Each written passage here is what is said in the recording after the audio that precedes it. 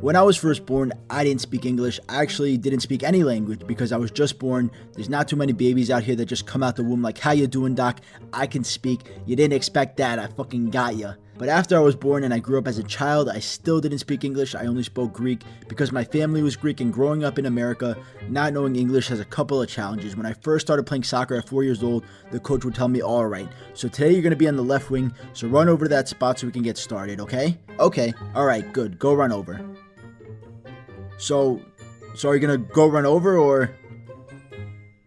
Do you even speak English? Okay, yo, who the fuck is this kid? But starting in pre-K, I started to learn English. Every day, my teacher would pull me aside from the other kids, and I would have to take special tests. Now, these tests were extremely easy if you knew English, but for me, they were some of the hardest tests I've ever taken in my life to this day.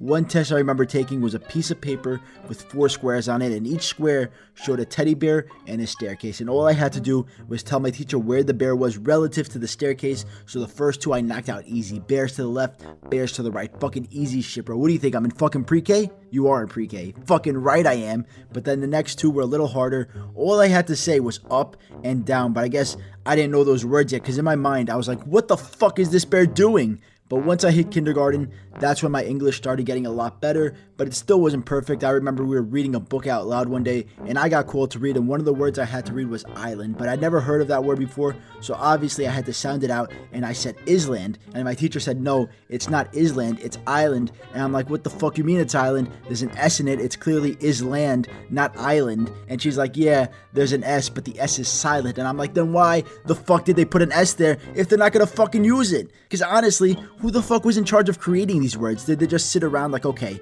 we need a word for this? A body of land surrounded by water on all sides. We're thinking of calling it an island, but we haven't come up with a way to spell it yet.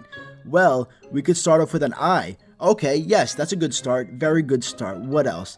And then uh, since it's made up of land, I guess we could end it with land, so it's I land, but then we make land sound like Lind. Uh, why, why wouldn't we just spell it out as Lind instead of land then? Because there's no such thing as Lind. Have you ever heard of a Lind? Huh? No, you haven't, but there is such thing as land, so it's I, Lind, but spelled as land. That's what we're gonna do. You're right, that's a good point. Alright, so that's how we're gonna spell island, I L A N D. Perfect. So next word is wait. What? What? What are we waiting for? We just finished the word. Let's put an S in there. In island? Why the fuck would we put an S in there? There's no S in the pronunciation of the word at all. There's no reason for the S. Yeah, but we can make it a silent S. What? What does that even mean? How are you gonna make a letter silent? What the fuck are you talking about? Do you want my father to pull out the funding for this project? Is that what you want? Do you want to lose your funding? Are you really threatening me right now? It's not a threat. I'm just saying I can make a quick call right now and you won't have any more money to fund this and you'll probably all lose your jobs. All because of an S?